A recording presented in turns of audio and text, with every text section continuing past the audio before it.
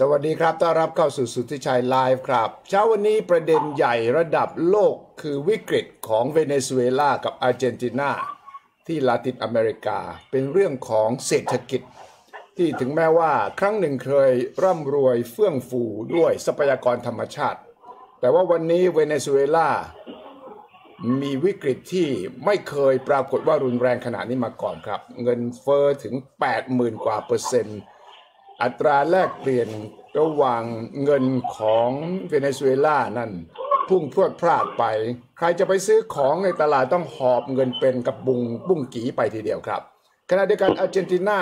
ก็เจอกับภาวะของอัตราแลกเปลี่ยนเงินเฟอ้อที่หนักหน่วงรุนแรงพอๆกัน IMF เข้ามาจะช่วยได้หรือไม่ต้องดูว่าจะมีความสามารถในการบริหารประเทศเพียงใดครับ เช้านี้ผมชวนดรสมชายพกภาพวิวัฒน์มาช่วยกันวิเคราะห์เรื่องนี้ครับ สวัสดีครับดรสมชายครับ ครับสวัสดีครับคุณสุทธิชัยครับครับเวเนซุเอลากับอาร์เจนตินานี่มีอะไรต่างมีอะไรเหมือนกันก่อนครับไอ้ดูภาพรวมก่อนเอ่ออาร์เจนตินาจะต่างกับทางด้านของเอ่อเวเนซุเอลาในแง่ว่าอืมอาร์เจนตินานะฮะพูดง่ายๆตลอด5-60ปีที่ผ่านมานะฮะครับจะมีประเด็นปัญหาเรื่องเอ่อวิกฤตอยู่ตลอดเวลาครับ เนื่องจากว่าตลอด4-50ปีที่ผ่านมานั้น เขามีนโยบายอันหนึ่งชื่อว่าเปโรนิสโมก็คือ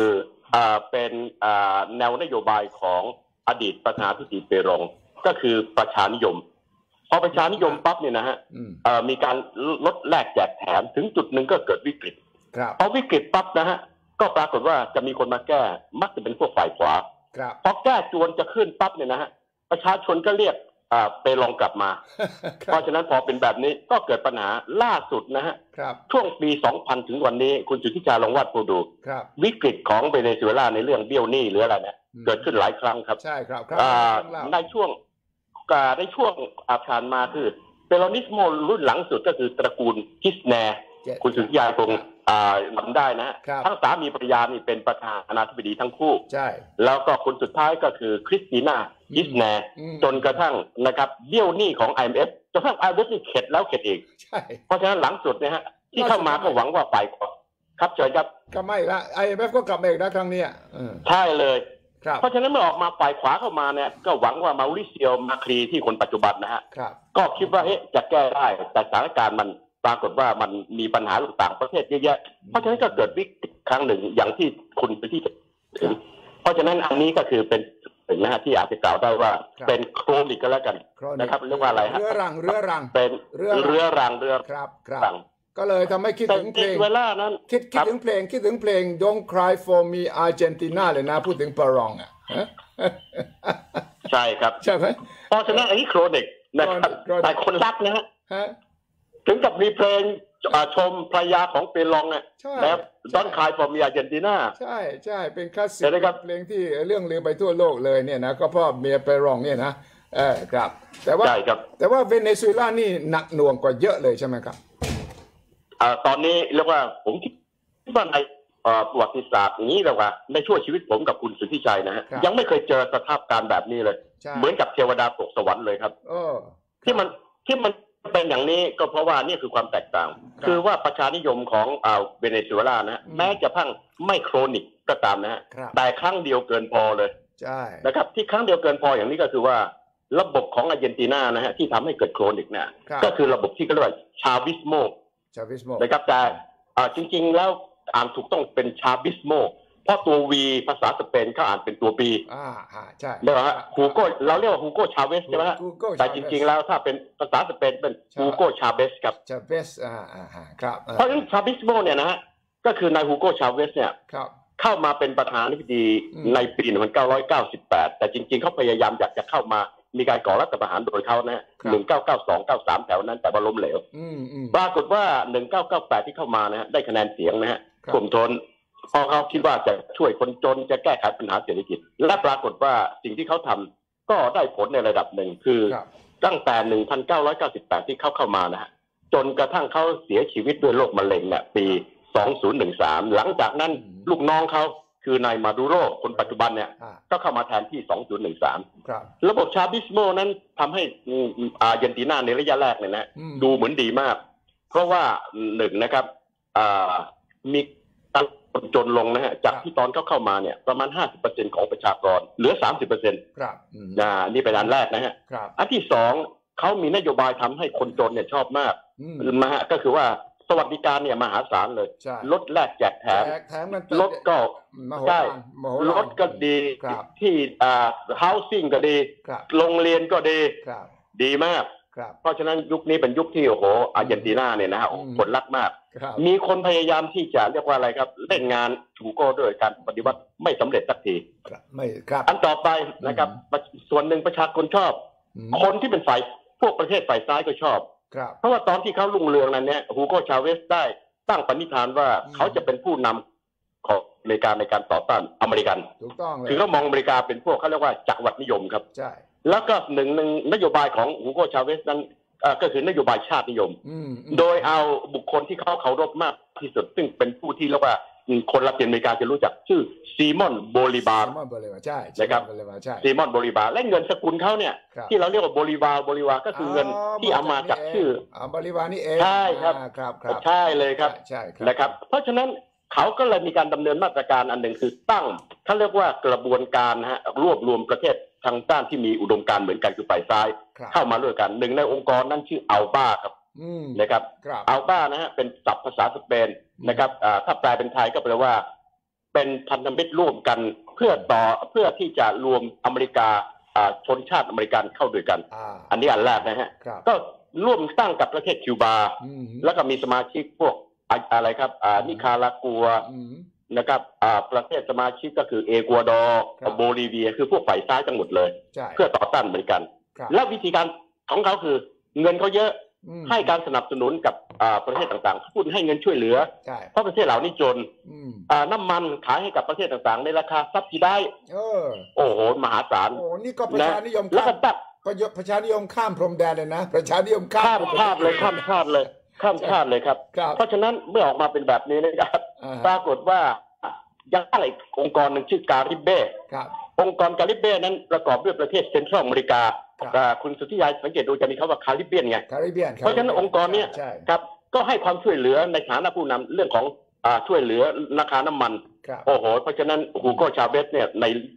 ลุกแรกเนี่ยนะฮะอืมรุ่งเรืองมากใช่และต่อต้านอเมริกาอย่างสุดเบี่ยง แล้วได้เพื่อนเยอะเลยใช่ไหมตอนนี้มันตกได้เพื่อนเยอะเลยใช่ไหมในลาตินอเมริกาตอนนั้นเนี่ย ถือว่าเป็นหัวหอกของการยืนหยัดใช่ต่อจักรวรรดินิยมอเมริกาเลย อืมใช่เลยครับ แล้วคุณสุทธิยาลองนึกถึงในยุคนั้นนะฮะครับประเทศใหญ่ๆนะฮะอืมอ่าก็เป็นฝ่ายซ้าย เช่นบราซิลใช่คุณจำได้ใช่ไหมใช่บราซิลก็มีครับอ่าซิลบาเดรูล่า ใช่อืมนะครับแล้วตามมาด้วยนะคุซอฟนึกออกใช่ไหมใช่เป็นพรรคเขาเรียกว่าราบายอดอเลสก็คือเออพรรคต่างคมนิยมครับทางด้านของอะไรกับอาร์เจนตินาคือคิชแนร์อืมคิชแนร์ก็คือฝ่ายซ้ายอ่าซ้ายเพราะฉะนั้นประเทศต่างๆ เหล่านี้สนับสนุนหมดเลยครับ มันมาพังตรงนี้ สิ่งที่เขาทำได้เนื่องจากเหตุผลว่าอืมประอ่าประเทศของเขาเนี่ยฮะอันนี้สำคัญมากครับ GDP 60เปอร์เซ็น พึ่งพาน้ำมันน้ำมันแน่นอนลองวัดความน่าอันตรายนะครับครับอ่าสินค้าตัวเดียวนะฮะอืมเท่ากับรายได้เขาจิต60เปอร์เซ็นของ GDP ใช่ครับสองอืมส่งออกร้อยเปอร์เซ็นเนี่ยพึ่งพาน้ำมัน 96เปอร์เซ็นครับคุณสุทธิชัยใช่เลย ตัวเดียวเลย นั่นหมายความว่าอืมอืมตัวเดียวเลยครับเพราะฉะนั้นพอราคาน้ำมันร่วง เนื่องจากเกิดวิกฤตแฮมเบอร์เกอร์ 2008 ครับ ตามมาด้วยอืมอ่าอ่าวิกฤตเงินสกุลยูโรครับ และสองอันนี้นำไปสู่วิกฤตของทั่วโลกหลายอันอืมราคาพืชผลต่างๆ พังหมดเลยครับและประเทศจีนซึ่งเป็นตัวที่ช่วยเข้าประเทศหนึ่ง เพราะว่าจะหาซื้อน้ำมันเลยต่างปรากฏว่าพอน้ำมันลดไปเท่าไหร่ครับจากร้อยกว่ามาเหลือเท่าไหร่สามสิบกว่าเหรียญต่อบาร์เรลใช่ประเทศจีนจากสิบเปอร์เซ็นเหลือหกเปอร์เซ็นกว่ากว่าอ่าๆถามเลยครับว่ารายได้ของอาร์เจนตินาอะโทษนะฮะรายได้ของเวเนซุเอลาคุณสิทธิชัยจะเหลืออะไรครับจะนั่นสิเพราะราย พอรายได้เกลี้ยงหมดปั๊บมันก็เกิดปรากฏการณ์ที่เห็นในวันนี้ครับหนึ่งครับ เงินเฟ้อขึ้นสูงนะครับ โอ้โห เป็นที่คุณสุทธิชัยอยู่เนี่ยหกหมื่นกว่านะฮะครับ อ่าแปดหมื่น ตัวเลขอันนี้นะบางคนก็พูดไว้เป็นแสนอันเอฟถึงก็บอกว่าเป็นล้าน ใครจะเชื่อเงินเฟ้อเมืองไทยหนึ่งเปอร์เซ็นต์อ่าแค่แค่หมื่นหนึ่งนี่ก็ตายแล้วใช่ไหม ใช่ใช่ไอ้นี่เขาบอกไว้นะฮะอ่าตัวเลข นะมันขึ้นมาตั้งแต่หกหมื่นแปดไปจนถึงแสนกว่า โอเคนะเนี่ยแรกใช่สองมีเงินสำรองมีการขาดดุลบัญชีเดินสะพัดนะฮะ เมื่อปีที่แล้วนี่เองฮะประมาณ20%ตอนนี้ไม่ต้องพูดถึงเลยครับนะครับ อันที่สามเงินสำรองเรียกว่าแทบจะเกลี้ยงหมดแล้วครับครับนะครับ เพราะฉะนั้นเมื่อออกมาเป็นแบบนี้ครับณสุทธิชัยลองดูสิครับ เรานักเรียนอัดสัมชันพาณิชย์ด้วยกันพอเงินสำรองคุณเกลี้ยงคุณเปิด LC ไม่ได้ ไม่ได้ไม่ได้ ไม่ได้ เพราะฉะนั้นแบงค์ผลที่ไม่ยอมตามมาคืออะไรครับ ครับอะฮะเอาเงินเฟ้อสูงมากครับของแต่ละชิ้นก็แพงริบเรี่ยวเลยอ่าและแพงอย่างเปล่านะฮะธุรกิจก็เจ๊งและจริงๆอีกส่วนหนึ่งพวกมาลงทุนก็ไม่ลงทุน เพราะสมัยของฮูโกชาเวสเขา nationalize เช่นเรื่องน้ำมัน ของโกโนโกะใช่ นะครับ แล้วก็ของอ่าเอสโซ ใช่ เพราะฉะนั้นพอเป็นแบบนี้คนก็ไม่กล้ามาลงทุน นี่ก็ ผลที่ตามมาจากอันนี้ก็คือ การผลิตหยุดชะงักอืมคอน sumer ไม่รู้จะคอนซูมยังไง เพราะราคาแพงเหลือเกิน ใช่ คนนะคนตกงานนะฮะไม่ต้องพูดถึงเลยครับ ตอนนี้เส้นของประชากรที่อยู่ในเส้นของคนจนนะฮะอืมจากที่เขาเคยลดมา 30 เมื่อ 2008 ขณะนี้เพิ่มเป็น 90%แล้วครับ เก้าสิบเปอร์เซ็นคือต์ทั้งประเทศ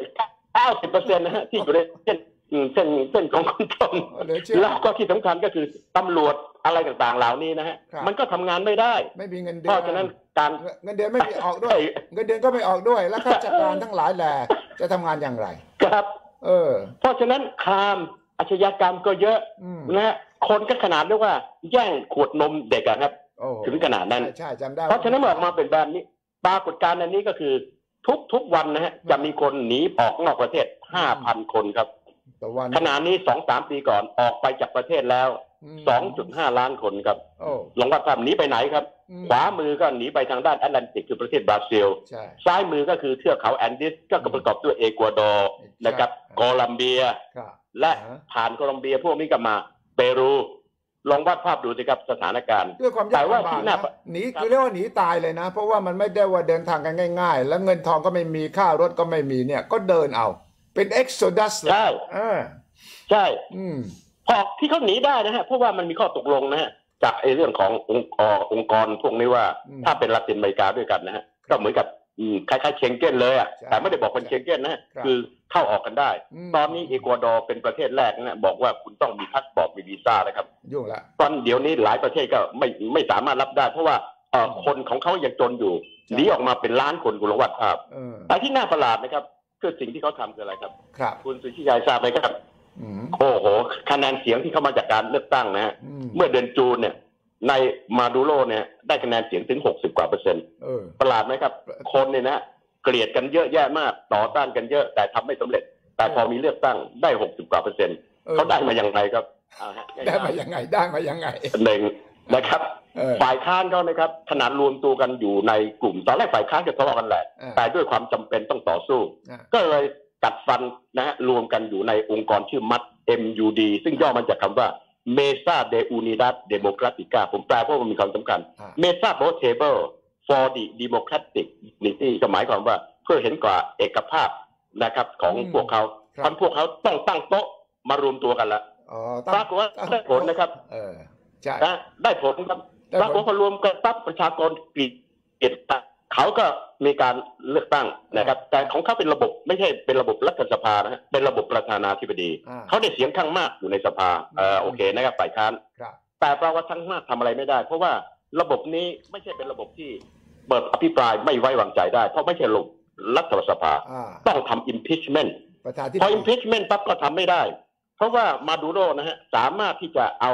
ศาลก็ดีอืมฮึตำรวจก็ดีครับทหารก็ดีครับนะครับ แล้วก็องค์กรเอ่อเลือกตั้ง ทุกคนอืมอยู่ในอยู่ในกำมือเขาหมดเลยอ่าเพราะฉะนั้นศาลรัฐธรรมนูญก็ออกมาพูดว่าทำ impeachment ไม่ได้ครับเพราะฉะนั้นฝ่ายค้านก็อืมอ้าปากค้างอืมฝ่ายค้านทำไงต่อจะทำ referendum เพื่อที่จะให้ประชาชนออกเสียงว่าควรจะเปลี่ยนรัฐบาลศาลรัฐธรรมนูญก็บอกว่าคุณทำไม่ได้ไม่ได้ แต่ศาลรัฐธรรมนูญนะอนุญาตให้มาดูโร อืม ซึ่งไม่ไม่มีส่วนในส่วนนี้นะเพราะเขาเป็นทหาร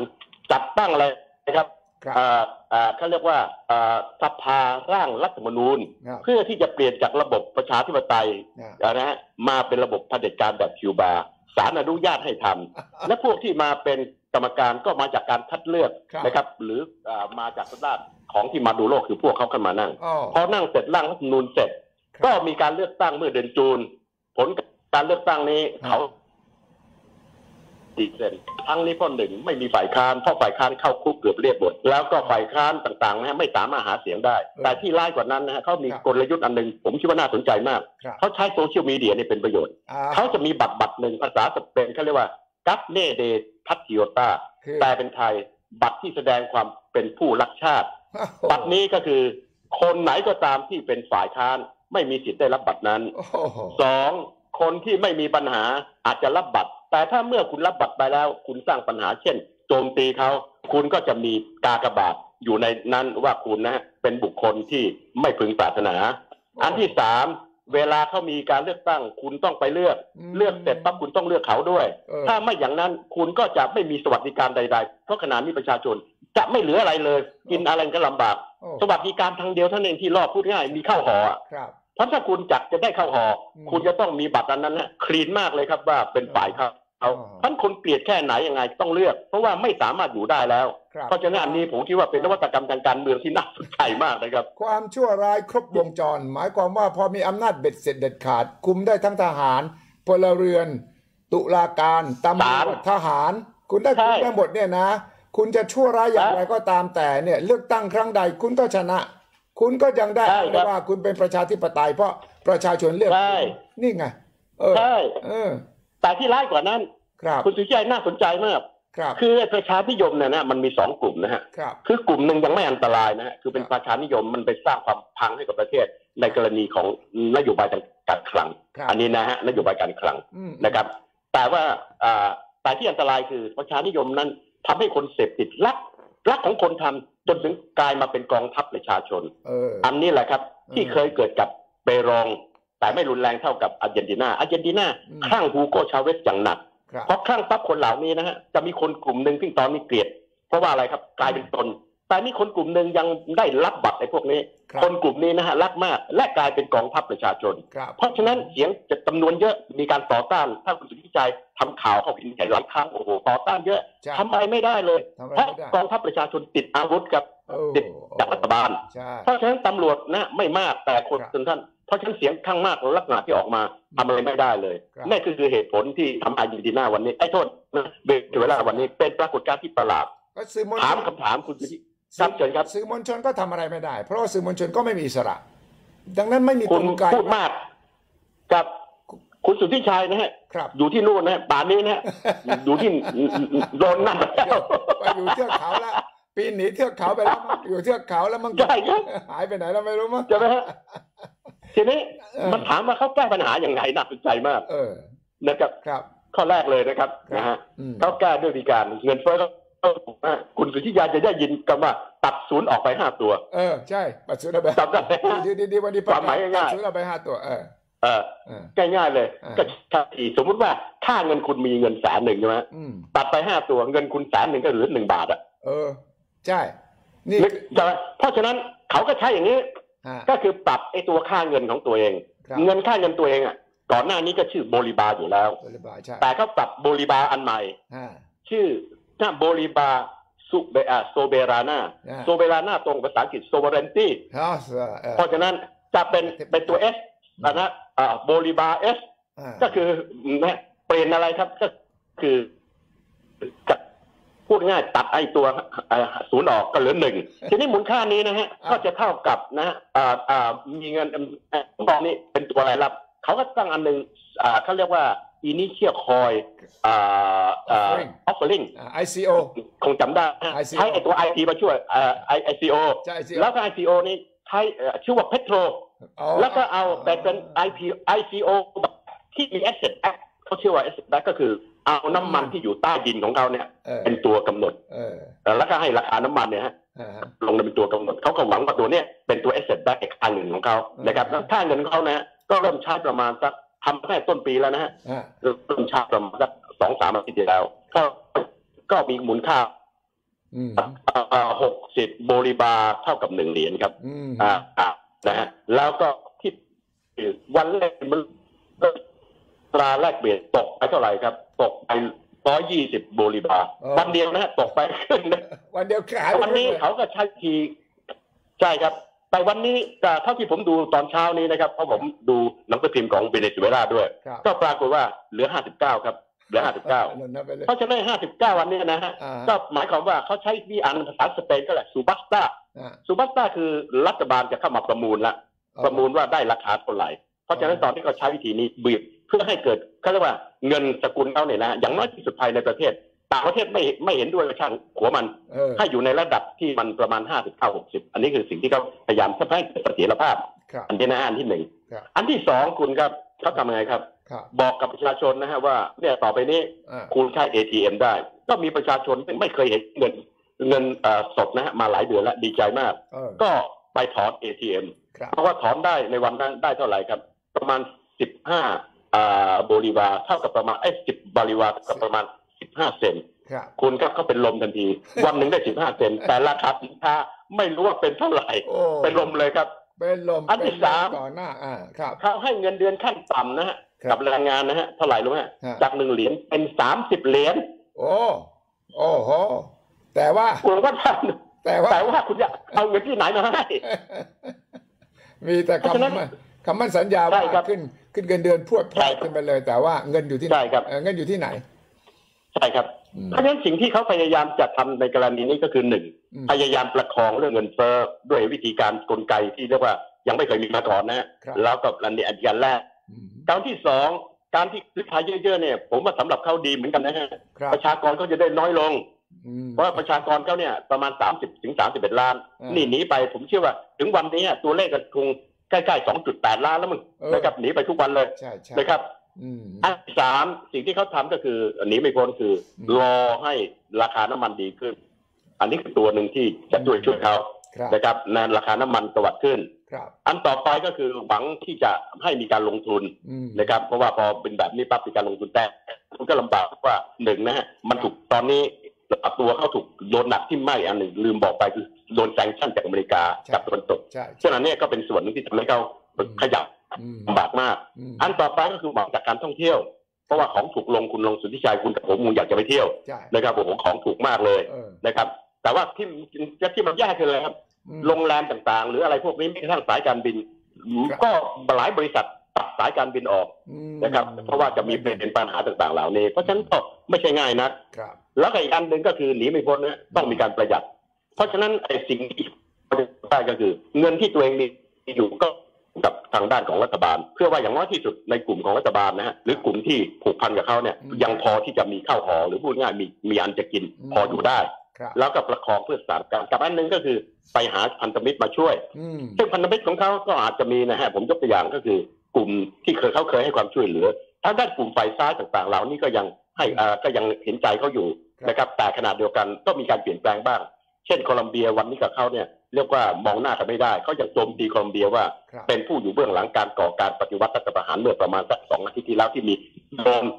ที่ดูในข่าวนั่นโดรนเข้าไปอ่าเขาก็อ้างบอกว่าจะมีการก่อนะฮะใช่อ่าอันต่อไปก็คือทางด้านโอตอนนี้ก็เป็นคนละภาพก่อนหน้านี้อ่าอย่างให้เพราะว่ามีการเปลี่ยนเดือนธันวาคมก็เป็นอ่าโอโลเปสโอเปราดอร์อันนี้เป็นฝ่ายซ้ายครับทางนี้เป็นฝ่ายขวาอยู่นะฮะอืมก็ไม่เห็นด้วย กับทางด้านของอะไรครับอ่าครับอ่าทางด้านบราซิลตอนนี้เป็นฝ่ายขวาก็ไม่เห็นด้วยอืมเพราะฉะนั้นก็มีฝ่ายที่ปรับมา ฝ่ายนี้ก็พยายามร่วมกับอเมริกานะฮะครับต้องการที่จะเล่นงานทางด้านของเอ่อเอ่อเวเนซุเอลาผ่านองค์กรก็เรียกว่าอาณารัฐอเมริกันอินเตอร์อเมริกันออ g a ไนเซชันครับต้องการ sanction แต่ทำไม่สำเร็จ เพราะว่ามันประกอบด้วยพรรคเอ่อประเภทต่างๆ ซึ่งเคยเป็นพันธมิตรเขาอืมอันนี้ก็เล่นงานไม่ได้ครับในระดับโลกก็เล่นงานไม่ได้ เพราะว่าอเมริกาพยายามจะเปิด ฉากนะฮะอืมที่คณะมนตรีความมั่นคง แต่จีนกับรัสเซียก็สนับสนุนเขาอยู่ใช่เพราะฉะนั้นในกรณีนี้ก็ทำอะไรไม่ได้ในเรื่อง sanctionครับเพราะฉะนั้นสิ่งที่เขาก็คือขอให้ประเทศเราเนี่ยคงอ่าให้ความช่วยเหลือบ้าง ซึ่งประเทศจีนตอนนี้ก็ศึกหนักมากโดนอเมริกาซัดซัดเตะละนะครับนะจะช่วยเหลือนะขยายไปเยอะแยะมากใช่ใช่ทางด้านของรัสเซียลองวาดภาพดูเริ่มฟื้นแต่ขณะเดียวกันก็โดน sanction เพราะขณะนี้ก็อยู่ในลักษณะที่ลำบากมาก เพราะฉะนั้นสิ่งที่เราเห็นขณะนี้ก็คือ พยายามดิ้นรนก็อย่างที่เรียกว่าดิ้นรนไปมาก็คือ รอให้สถานการณ์เปลี่ยนนะครับ ซึ่งขณะนี้ก็คืออ่าอยู่ในสถานการณ์ที่เรียกว่าเป็นที่สนใจของข่าวทั่วโลกกันทุกวันเลยทุคกรับวันทุกวันแล้วก็ถ้ารอราคาน้ำมันขึ้นอย่างเดียวก็ไม่น่าจะเห็นได้ง่ายนัก เพราะว่ามันขึ้นขึ้นลงลงอยู่ขครันาดบใช่ครับครับแต่ถ้าเปรียบเวเนซุเอลากับทางด้านของอ่าทางด้านของอาร์เจนตินานะฮะผมอยากจะให้เราเห็นตัวเลขว่ามันต่างกันเยอะมากครับขณะนี้นะครับอาร์เจนตินานะฮะแม้ว่าจะมีประเด็นปัญหา นะครับ ก็คือหนึ่งเขามีการขาดดุลเอ่อบัญชีเดินสะพัดเนี่ยห้าจุดหนึ่งเปอร์เซ็นต์ของ GDP อ่านะครับอืมซึ่งอันนี้ก็ต่างกับเวเนซุเอลานั้นไปไกลละอืมเอ่ออันที่สองที่เขาแยกก็คือว่าเขานะฮะมีเรื่องของหนี้ต่างประเทศเนี่ยเยอะนะครับ ซึ่งอันนี้ไม่ต้องพูดถึงเวเนซุเอลานี่แทบจะไม่เหลือแล้วครับคือหนี้ต่างประเทศเขาเนี่ยกว่า50%ของ GDP อืมซึ่งอันนี้เป็นตัวเงินเฟ้อของเขานะฮะอืม31%ครับครับ ของเวเนซุเอลาเนี่ยเป็นแสนของเขาเงินเฟ้อ31%สามสิบเปอร์แล้เซ็นวต์ตอนนี้แล้วนะสามสิบเปอร์เซ็นต์นี่หนักแล้วนะ ของไทยเราแค่หหนันึ่กงแล้วหนักมากหนักของมากเราแค่หนึ่งเปอร์เซ็นต์เนี่ยนะก็เนี่ยนะใช่สามสิบเอ็ดเปอร์เซ็นต์คิดดูเพราะว่าฉะนั้นของใช่ค่าของเงินของคุณมันหายไปสามสิบเปอร์เซ็นต์น่ะอืมใช่อืมอืมเพราะฉะนั้นเขาแก้ยังไงครับครับเขาแก้ว่าดอกเบี้ยนโยบาย คุณสุทธิชัยลองเดาว่าดอกเบี้ยนโยบายของเรานะประมาณหนึ่งกว่าครับ ของเขาดอกเบี้ยนโยบายมีขึ้นไปเท่าไหร่ครับห้าหกสิบเปอร์เซ็นต์มั้งใช่ไหมใช่เลยครับหกสิบเปอร์เซ็นต์ครับเปอร์เซ็นต์มั้งสูงสุด สูงสุดเท่าที่ถ้าสูงสุดในแง่ดอกเบี้ยนโยบายสูงสุดมากที่สุดในโลกครับนะครับโอ้เอันต่อไปที่ที่เขากำลังแก้ปัญหาก็คือขอความช่วยเหลือจาก IMF ซึ่งอันนี้เขาโชคดีเพราะว่า ฝ่ายขวาขึ้นอเมริกาเนี่ยสนับสนุนอ่าก็เลยให้ความช่วยเหลือถึงห้าหมื่นล้านมตอนที่เกิดวิกฤตในเมืองไทยเราเราขอแค่หนึ่งหมื่นเจ็ดพันสองร้อยล้านครับอืมนี่เขาขอห้าหมื่นล้านอืมนะครับแต่ว่ายังไม่ได้เงินยังเพราะว่าเนี่ยที่เป็นอันหนึ่งที่เขาหน้าซีด มาคิดจินลากาศต้องไปคุยกับมาครี เพราะคิดจินลากาศรู้ว่าประเทศนี้มันเบี้ยวบ่อยมากเลย แล้วไม่รู้ว่าปีหน้าก็จะมีการเลือกตั้งเออให้ไปแล้วไอ้ฝ่ายซ้ายกลับเข้ามาจะตายอีกตายอีกไปนั่งคุยกับมาครีเลยนะครับเออแล้วก็มาตกลงไปตกลงมาว่าเมื่อไหร่จะออเบิกจ่ายสักทีว่าอ่า เพราะฉะนั้นในกรณีนี้นะตอนแรกเราจะค่อยๆเบิกจ่ายถึง2021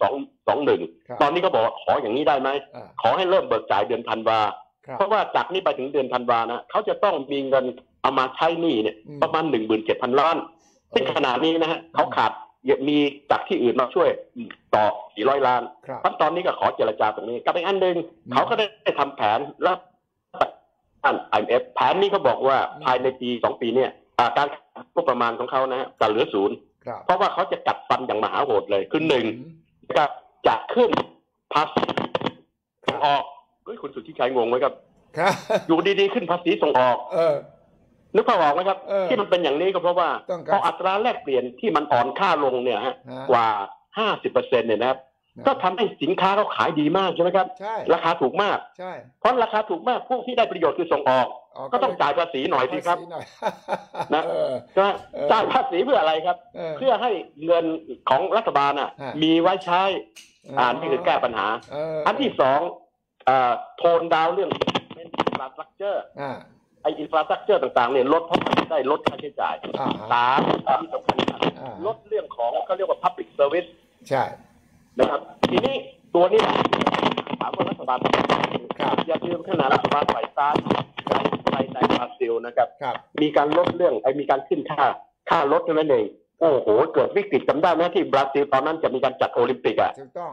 เพราะฉะนั้นอันเนี้ยที่ทำให้รัฐบาลฝ่ายซ้าย ของอะไรครับของเอ่อของของของอาร์เจนตินาพังอ่าเพราะว่าพอสังเกตเจ๊งปั๊บไปขึ้นค่าต่างอืมๆก็เลยพังไปเลยอืมเพราะฉะนั้นฝ่ายขวากำลังทำถามเลยครับว่าอืมสิ่งที่กำลังทำอยู่ฟังดูแลวดีอืถามว่าทำได้ไหมประชาชนกำลังจะลุกขึ้นมาต่อต้านไหมอืมแล้วปีหน้าก็จะมีการเลือกตั้ง เพราะฉะนั้นอันเนี้ยที่ทำให้นักลงทุนนะฮะมองแล้วบอกว่าโอเค วิธีการแก้คุณใช้ได้เลยนะฮะอืมแต่ implement จะทำได้ไหมความไม่เชื่อมั่นนั้นเนี่ยอืมทำให้ค่าเงินของอาร์เจนตินาเมื่อวานนี้วันตื่นยัง อ่อนตัวลงนี่คือเหตุผลที่เมื่อวานนี้นะฮะเราจะเห็นตลาดหุ้นทั่วโลกนะฮะครับแดงเถือกหมดเลยครับใช่อ่าฮ่องกงเนี่ยถึงกับเท่าไหร่ครับ ขึ้นมานี่หลายร้อยเปอร์เซ็นต์เลยของเราเนี่ยแค่ของเราอย่างเดียวโดยที่ก็ไม่ได้ลดนะเมื่อวานนี้ลดลงไปถึงเท่าไหร่ครับอืมยี่สิบกว่าจุดเลยครับอ่าแล้ววันนี้ผมเชื่อว่าก็คงยังแดงกันไปหมดแล้วครับ อืมอืมอืมครับดังนั้นสาเหตุสาเหตุสำคัญของทั้งเราจะเห็นชัดนะครับเกิดกับเอ่อสาเหตุสำคัญของวิกฤตของทั้งเวเนซุเอลากับอาร์เจนตินานี่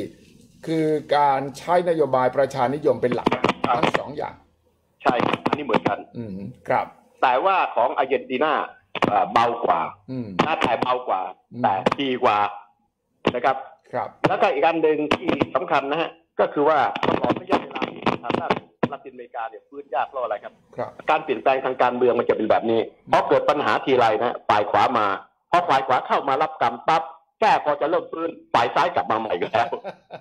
เพราะมันก็จะเป็นโครนอีกอย่างนี้ไปอยู่เรื่อยๆเลยครับอ่าฮะนะครับเอ่อเพราะฉะนั้นในกรณีคุณดันสังเกตดูในในในนั้นเห็นชัดละในกรณีของอะไรครับอ่าอ่าเม็กซิโกฝ่ายซ้ายฝ่ายชนะฮะโลเปสโอบราดอเนี่ยจะเข้ามานั่งทำเนี่ยนะในตุลาคมแล้วครับ อันนี้เห็นได้ชัดแล้วก็ถ้ามีการเลือกตั้งในเวลาที่นะครับดูหน้าเนี่ยติดคุกนะครับยังสมัครต้องสมัครขนาดถ้าไม่เกินรัฐธรรมนูญห้าสมัครปาเลือกตั้งประมาณ ไม่กี่เดือนเดือนตุลาเนี่ยมันจะกลับมาได้เลยแม่ฝ่ายซ้ายกลับมาอีกแล้วครับ แต่ว่า อันนี้ก็เป็นตัวอย่างแต่ว่าจะเป็นฝ่ายซ้ายฝ่ายขวาก็มาจากการเลือกตั้งก็แปลว่าประชาชนเขาเลือกนะใช่ อ่าใช่ไหม เพียงแต่ว่าในทางปฏิบัติเมื่อฝ่ายซ้ายเข้ามาในนั้นก็คือว่าจะมีการบริหารในลักษณะที่เป็นเน้นน้ำหนักของทางด้านของภาครัฐทีนี้การเน้นน้ำหนัก ที่ดี แต่ว่าถ้าเป็นลักษณะของประชานิยม ซึ่งหมายความว่าไม่ได้พัฒนาขีดความสามารถ ผมยกตัวอย่างง่ายๆถ้าเป็นฝ่ายซ้ายในในยุโรปโอ้โหตอนนั้นในกรณีสแกนดิเนเวียคุณสังเกตดูใช้นโยบายฝ่ายซ้ายตลอดบางประเทศตั้งยืนดีมาก การกระจายอำนาจดีมาก แต่ว่าในประเทศเขาระบบเขามั่นคงมาก เป็นระบบที่ดีมาก ถ้าคุณมีการคอร์รัปชัน หรือทำด้านนโยบายที่มันพลาดประชาชนมาเอาคุณเลย แต่ในกรณีของรัฐอเมริกาเนี่ยนะครับประชาสังคมนี่อ่อนแอมาก เพราะฉะนั้นก็เลือกตั้งโดยตัวบุคคล แล้วก็หลงระเริงอยู่กับเรื่องของประชานิยม แล้วก็รัฐบาลพอประชานิยม ไม่ได้พัฒนาขีดความสามารถในการแข่งขันครับครับ แต่ว่านี้ก็ทำให้สถานการณ์เนี่ยมันแตกต่างระหว่างละตินอเมริกากับทางด้านยุโรปครับทางยุโรปสแกนดิเนเวียเนี่ยถึงแม้ซ้ายแต่เป็นซ้ายลักษณะรัฐสวัสดิการมากกว่าประชานิยมไหมครับ รัฐสวัสดิการนี่ว่าเขาต้องบริหารด้วยประสิทธิภาพปราบคอร์รัปชันแล้วก็ให้แน่ใจว่าประชาชนได้ประโยชน์ แต่ว่าประชานิยมแบบละตินอเมริกานี่คือแจกลูกเดียว เพื่อจะให้ได้คะแนนอย่างเดียว อย่างนั้นหรือเปล่าใช่ครับใช่ครับ ทีนี้มันจะต่างกันตรงนี้ ในละตินอเมริกาในในฝ่ายซ้ายของเขานะฮะหนึ่งนะครับเขาจะมีสิ่งที่ก็เอาเอาเอาเทอร์แนนเปลี่ยนแปลงได้ ผมยกตัวอย่างง่ายๆ ในยุคของหลังสงครามโลกนะฮะเราเห็นว่าฝ่ายซ้ายนะฮะเข้ามาพับมีการ ยึดกิจการเป็นของรัฐนะครับพรรคเลเบอร์เนี่ยคือตัวอย่างง่ายๆเลยแต่พอประชาชนมามองแต่ก็จริงๆบอกให้เป็นแบบนี้ มันเท่ากับการลงทุนมันแย่ในที่สุดนะพรรคคอนเซอร์เวทีฟเพราะฉะนั้นการดูว่าไม่ใช่เพียงแต่เสพติดจากที่ดูตรงนั้นเองสองมีการบริหารในการมาให้ในขนาดของภาครัฐแต่ปรากฏว่าการคลังคุณแย่ท่านประชาชนส่วนหนึ่ง แม้สารนิยมทางด้านสังคมนิยม แต่มีความรู้สึกผมเอาคุณละเพราะลักษณะแบบนี้คุณเป็นการบริหารแบบไม่มีเขาเรียกว่าอะไรครับ ไม่มีความรับผิดชอบ ซึ่งมันมีลักษณะอย่างนี้ครับไอ้ซ้ายอย่างในแกนดิเนเวียนะฮะมันประสบความสำเร็จเพราะอะไรครับ เขาก็ต้องดูประชาชน เพราะการที่จะให้รัฐสวัสดิการนั้นจะเป็นไปในลักษณะคู่นั้นไปกับการพัฒนาขีดความสามารถในการแข่งขัน เพราะฉะนั้นประเทศของเขาเนี่ยเป็นประเทศ น่ารักมาก เพราะอะไรครับฝ่ายซ้ายมากมีขีดความสามารถกันเนี่ยกระจายรายได้นะความแตกต่างรวยกับจนเนี่ยหายไปเยอะมากเลยนึกภาพบอกไหมครับแต่ไอ้ตัวนี้มันขาดหายไปในละตินอเมริกาพอละตินอเมริกาปั๊บปั๊บเข้ามาคืออะไรขออยู่นานๆ แต่ในในกรณีของสแกนดิเนเวียเขาอยู่เท่าที่ประชาชนจะยอมให้อยู่นะครับ ไม่ได้ไปแก้อะไรเลย แต่เขาเนี่ยพยายามที่จะอยู่นาน แล้วประโยชน์นานถือโอกาสตอนที่กำลังแก้รัฐธรรมนูญและกันในที่สุดก็คือนำไปสู่ปัญหาของการเรียกว่าใช้นโยบายรัฐนะฮะในลักษณะที่สร้างปัญหานโยบายทางการคลัง แต่ที่ร้ายที่สุดก็คือกองทัพประชาชน ซึ่งเป็นปรากฏการณ์ที่เกิดในในในในในในยุคในในละตินอเมริกาในกรณีนี้อาจจะพอกล่าวได้แอฟริกาบางประเทศก็พอมีเหมือนกันนะครับ อย่างเช่นกรณีของซิมบับเวสังเกตดูนะฮะผลกว่าจะมีการเปลี่ยนแปลงมันนานมากเลย รุ่นเดียวกับ มันเดล่าคุณได้ตอนที่เราพวกเราเด็กๆนะฮะมันเดล่านะฮะก็จะมีโรดีเซียกับ South Africa วันนี้ South Africa อย่างน้อยที่สุดแม้ว่าจะเกิดวิกฤตดีกว่าทางด้านของซิมบับเวนี่มหาศาลก็มาจากเรื่องของระบบการเมืองที่แตกต่างกันครับ ใช่ใช่ครับ แล้วมันจะจบอย่างไรเวเนซุเอลาเอ่ออันนี้ผมคิดว่าอย่างนี้ครับ ประเทศไม่เหมือนคนนะครับ คนมันตายได้ใช่ไหมประเทศไม่ตายครับเพราะสิ่งที่ผมกำลังมองอยู่ว่าเวเนซุเอลาเนี่ยถึงจุดหนึ่งคือบอททำเอานะครับ กำลังบอททำเอา คือสถานการณ์ย่ำแย่ จะย่ำแย่นะฮะกว่านี้นะฮะคงจะเรียกว่าก็คือจะเอาคนก็รีภัยไปรีภัยมา ถึงจุดหนึ่งนะฮะมันมีทรัพยากรน่ะจะพอเลี้ยงดู อาจจะเลี้ยงดูคนนะสิบเอ็ดล้านไม่ได้ แต่เลี้ยงดูคนยี่สิบแปดล้านได้ แต่ว่าอาจจะแย่งไปหน่อย แต่พอเป็นแบบนี้ปั๊บสถานการณ์คือราคาน้ำมันมันเริ่มที่จะมีการดีขึ้นนะครับพอมาถึงจุดหนึ่งนะครับ คนก็เริ่ม ทำใจได้พอทำใจได้ปั๊บเนี่ยนะฮะก็จะมีความพยายามในการที่จะทำมาหากินอืมเพราะฉะนั้นก็จะมีการเอ่อเริ่มที่จะทำงานดีขึ้นครับอันต่อไปพอเริ่มเรียบร้อยมากขึ้นนะครับ คนก็จะมีการท่องเที่ยวมากขึ้นอืมนะครับ แล้วก็ในที่สุดนะฮะไอการลงทุนบางส่วนก็คงจะเริ่มมีขึ้นคเพรับราะในความเห็นผมคิดว่าเขาคงจะพยายามที่จะรักษาสถานการณ์วันนี้นะฮะอืมให้ตัวเขาเองอยู่ได้ในระดับหนึ่งนะครับ แล้วก็ก่อนแล้วก็ใช้กลไกในด้านความช่วยเหลือ การสร้างอ่าอะไรครับสร้าง ทรัพยากรใหม่ รอให้ราคาน้ำมันขึ้นนะครับ อะไรต่างๆเหล่านี้ ถึงจุดนั้นนะฮะก็คงค่อย ๆ จะดีขึ้นอืมแต่ถามว่าจะกลับไปสู่ภาวะปกติ ผมบอกได้ฮะลำบากแม้กระทั่งปีจังหวัด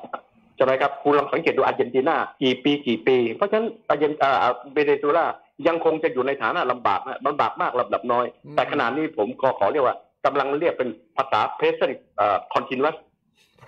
บัคนี่เอาแต่ไม่ already เอาเอากันแล้วกันครับ present continuous present continuous นี่ continuous tense กันแล้วกันครับ present continuous tense นี่แปลว่า มันจะไปอย่างนี้เรื่อยๆ โดยยังไม่รู้ว่ามันจะไปพักจุดเลยไหนพักเลยครับคครัรับบครับถ้าดูที่ว่าเงินเฟ้อที่มันเยอะแยะอย่างนี้นะเรียกว่าเขาไม่เอาสถิติมาคิดแล้วครับ ครับ ถึงจุดหนึ่งมันคงไม่ได้ตลอด ครับ แต่ละคนก็ต้องดิ้นรนใช่ไหมฮะเพราะในกรณีก็คงจะอยู่ในสถานการณ์อยู่กันไปอย่างนี้สักพักใหญ่ๆนะครับโอ้เหนื่อยแน่ ประชาชนนี่แหละที่เหนื่อยที่สุดนะครับอืมฉะนั้นนี่คือบทเรียนจากลาตินอเมริกาที่คนไทยทุกคนต้องศึกษาวิเคราะห์ แล้วก็นำมาแก้ไขหรือครับป้องกันปัญหาของวิกฤตที่อาจจะเกิดกับเราก็ได้ครับ หรือไม่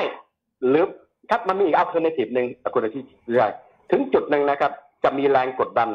จากประชาชนถึงจุดหนึ่งนะฮะ อาจจะนำไปสู่การเปลี่ยนแปลง ถ้ามันถึงจุดหนึ่งอ่าแม้กระทั่งคนที่เขารักมากๆ อาจจะทนไม่ไหว อันนี้ก็คือเป็น scenario ที่สองครับ ครับครับครับคกัรับบซีนารีโอที่สามอืมเกิดแรงกดดันจากหลายชาติอืมนะซึ่งจะทำให้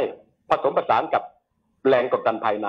ทำให้เกิดการเปลี่ยนแปลง ผมคิดว่าซีนารีโอจะมีอยู่สามทางด้วยกันครับใช่ครับนะครับหนึ่งก็คืออะไร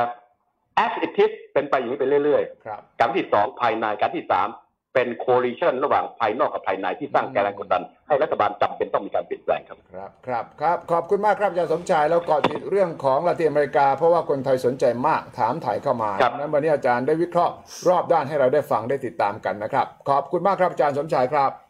ครับขอบคุณมากครับ สวัสดีครับ สวัสดีครับ